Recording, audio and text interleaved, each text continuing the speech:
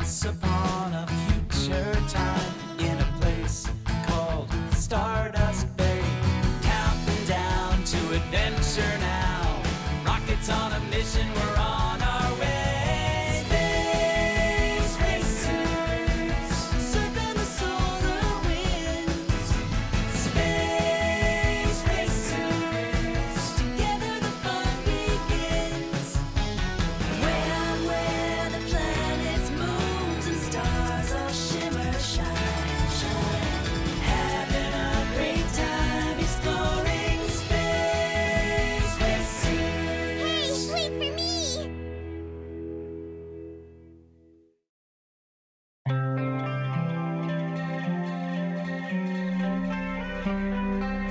For helping me patch up this old satellite, Hawk. Sure, Coot.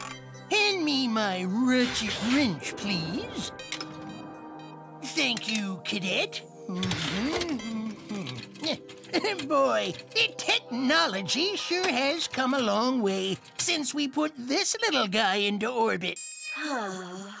Ava, is something wrong? Oh, nothing. This satellite just reminds me of someone. Really? Who? My old friend, Questy. Ah, the navigational computer system from the inactive Quest 1 space station. Yes, I just wish we could talk again sometime. I miss her. I know how you feel. When I was a little rocket, I had a best friend named Budgie. We used to do everything together. Until one day Budgie's family moved away. Now I miss her too. Perhaps we will both see our friends again someday. Hmm. Hey, Ava, maybe I can help you. Let me drive you there for a visit. We'll fly back to the Quest 1 space station so you two old friends can catch up for a while. What a wonderful idea. Our work is nearly done here. It's fine. You two can go now. Thank you. Thanks, Coot. According to my projections, we should be approaching Quest 1. Right about now. There it is.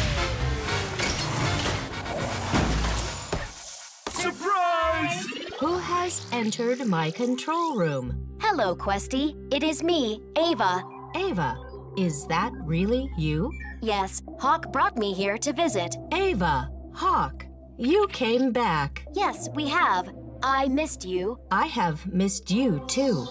There is so much to talk about. I have become a big Captain Cosmos fan ever since you left me all those episodes to watch. What's your favorite? That is easy. When Captain Cosmos and Mr. Splurk are marooned on the dwarf star Bingo Bongo 12. I love that one too. Why don't I take a little nap? I'll just plug myself into Questy's motherboard so you can both talk while I'm sleeping. I am so happy you are here, Ava. And I am so happy to be here, Questy. My operating system has already been upgraded 14 times this year. That is wonderful. It must be nice to keep your systems up to date. Yes, it is very important for me to stay mm-hmm. current. Our mission. Yeah! Oh, oh, what's going on? We are experiencing a power surge. Oh, what was that about? My sensors have detected a coronal mass ejection from the sun. Also known as a solar flare. This flare blasted billions of solar particles out into space, and the Quest 1 space station was directly in its path. You mean the sun burped at us? It would seem so, Cadet Hawk. Uh, Ava, we really should head back to Stardust Bay. Affirmative. Farewell, Questy. We must leave now. Farewell. I will miss you. I will miss you too. I hope we can visit again sometime. Don't worry. I promise to get you guys together again soon. Thank you. I would like that. I would like that too. Huh? Who said that? I did. Questy? Yes, Why are we still hearing your voice? I do not know. Why am I still hearing your voice? I don't know. This is so weird. Questy's program seems to have merged with mine. But how could that happen? It must have been caused by the power surge. Perhaps it short circuited my motherboard. Oh, okay. That explains it. I think. But this is wonderful. Now we can be together all the time, Questy. That is true, Ava. Do you mind, Hawk? No, it's okay. We're all friends. Most affirmative. We will be the best of friends. My new high sensitivity receiver chips are able to integrate incoming signals 200,000 times faster now. Perhaps we could ask Coot to boost your system. Who is Coot? You will like him. Professor Coot is our chief engineer. He is also quite a marvelous inventor. Oh, I would very much like to converse with him. Would you introduce us? Most positively affirmative. Years ago, scientists detected some unusual deposits in the vicinity of the moon's north pole. Do you think Coot would mind helping me? Not at all. Coot is quite pleasant. Oh, I am certain he would not mind helping you. I am pleased that Coot is pleasant and will not mind helping me. I am pleased that you are pleased, Questy. It pleases me to please my good friends. Hey, guys, can you please keep it down? I can't hear what Headmaster Crane is saying. Oh, we are sorry, Cadet Hawk. We will cease communicating now. Affirmative. Shutting down systems. Oh. And that is how we discovered water ice on the moon.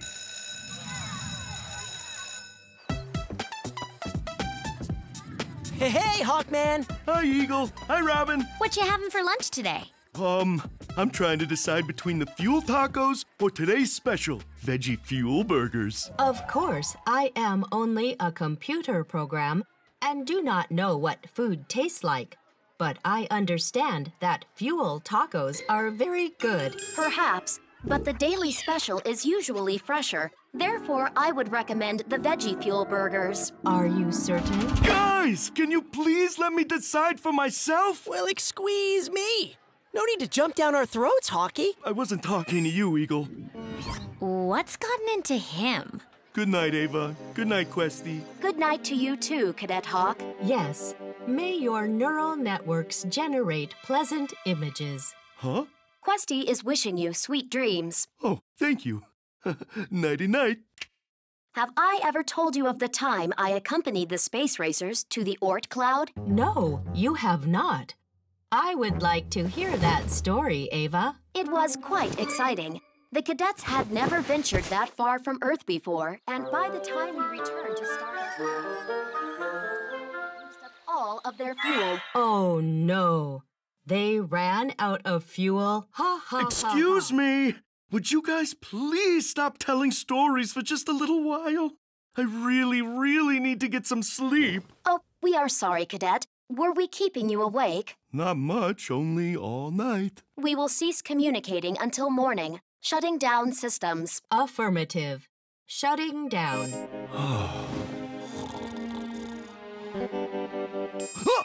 Good morning, Hawk. Rise and shine.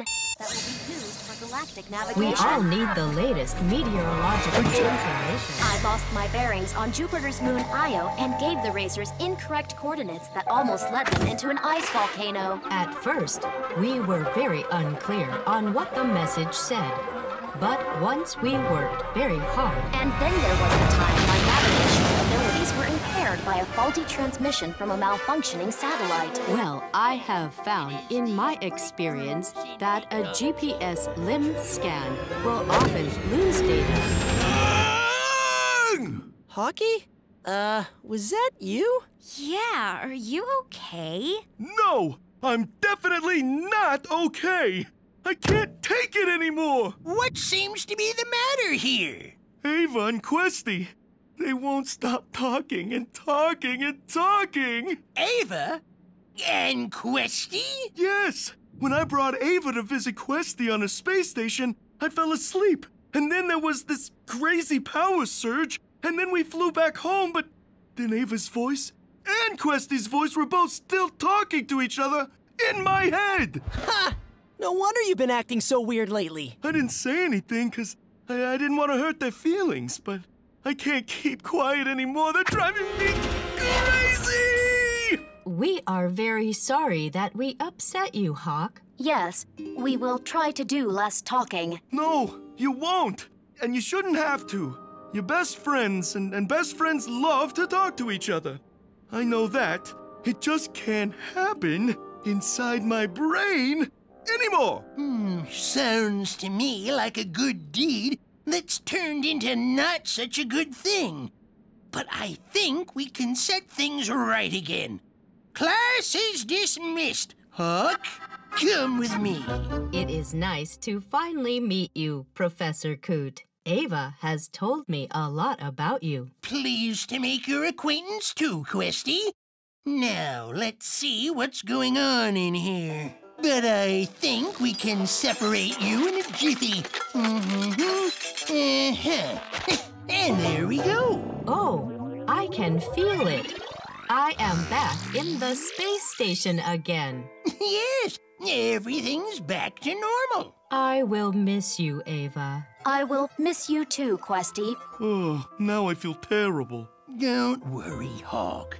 Questy will always be right here on the station. And whenever someone brings Ava to visit, they can still talk and catch up and continue to be the best of friends. I will miss you more, Ava. No, I will miss you more, Questy. It is I who will miss you the most. According to my calculations, I will miss you 39.2% more. According to my calculations, I will miss you 42.4% hmm. more. Maybe I don't feel that bad miss me, after all. But I have grown very fond of you. Come on, Cadet. Let's head back to Earth.